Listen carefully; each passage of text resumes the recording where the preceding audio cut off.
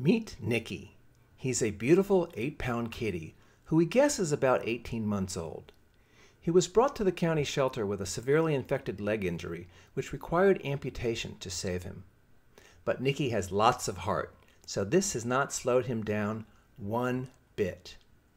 He loves to play like any regular kitty, climbs up and down stairs like it's nothing, and will steal your heart with his smile and purr when you scratch behind his ears.